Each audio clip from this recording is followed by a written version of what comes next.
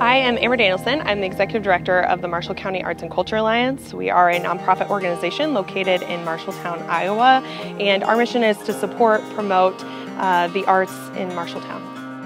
Before we were approached by Altar Media about an opportunity to work with them, we had thought about videography and ways that we could highlight our organization and the projects that we've done. However, there really wasn't a group here locally that we felt like uh, made the most sense for our organization.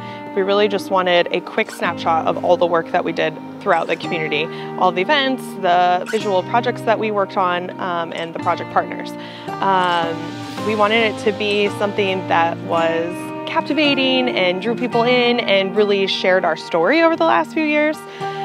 And Altar Media did all of those things and far beyond. We really were not expecting the level of professionalism from the video. I mean, we were excited for a really awesome video, but this video was far beyond just an awesome video.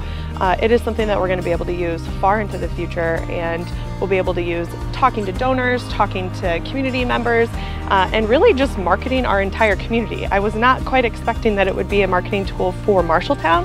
Uh, I certainly wanted it for the Alliance, but it now I think is a piece that we can point to for tourism and for drawing future businesses and wanting people to choose Marshalltown as a place to live and play.